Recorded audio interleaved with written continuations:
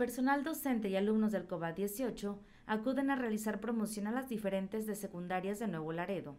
Uno de los planteles que recientemente se visitaron fue la secundaria técnica número 69, profesor Roberto Benavides Arredondo.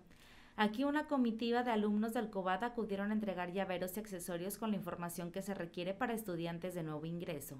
También se dio una muestra de las actividades extraescolares que se efectúan en el plantel, Cabe señalar que los alumnos de tercer grado todavía tienen la oportunidad de preregistrarse, ya que la próxima semana será cuando se aplique el examen Ceneval a todos los aspirantes.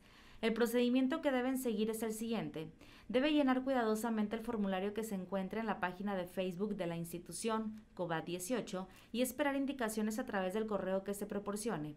Para mayores informes, los interesados se pueden dirigir a Avenida Tecnológico 3902 en un horario de las 9 de la mañana a las 5 de la tarde o llamar al número de teléfono 867-688-5677.